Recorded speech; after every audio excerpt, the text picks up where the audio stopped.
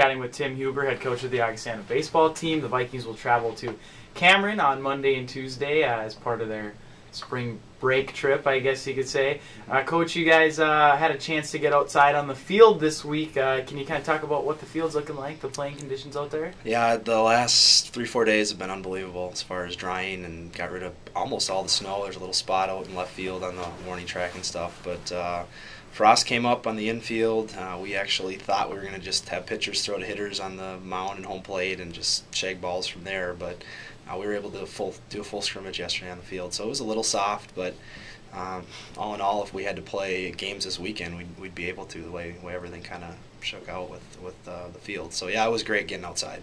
Pair of doubleheaders at Cameron uh, Monday, Tuesday. These guys are, are pretty good. They've Mm-hmm. uh, picked up a handful of wins already this year. What do you know about them? Yeah, they, they've got two hitters. Uh, one guy's got, I think, eight home runs. Another guy has six, uh, which with the new bats, that's that's pretty darn good at this point in the year. I think they're, oh, 17, 18 games into the year. I think they're 13 and 4 before I, I don't know how they went, how they did this week. They had two games.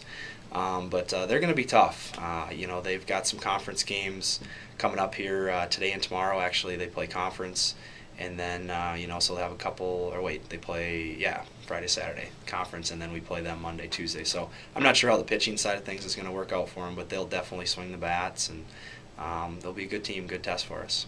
And then uh, the conference season's just around the corner for Augustana as well. Minnesota Crookston is slated to come um, on Saturday, Sunday, uh, a week from this Saturday, Sunday. Yep. Uh, you're expecting the field to be in good shape for that, and we're going to play this one in I Sioux Falls. yeah, I think so. I hope so. It looks that way. The uh, there's a chance of rain next week. You know, it's a week out, so it's hard to say. But uh, and, and it's going to cool off. I think Wednesday, Thursday.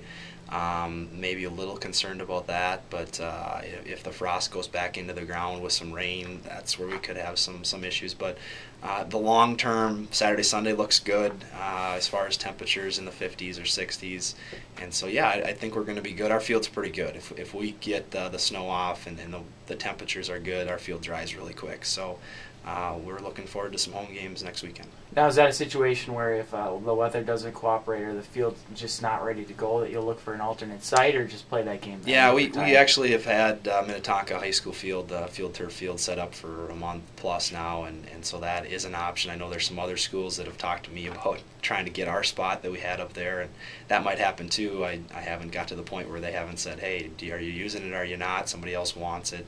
So as of now, we're still reserved at Minnetonka uh, those two days also, so we do have a backup plan. But I, I really don't think we're going to have any issues the way things look. So All right, thanks, Coach. you bet.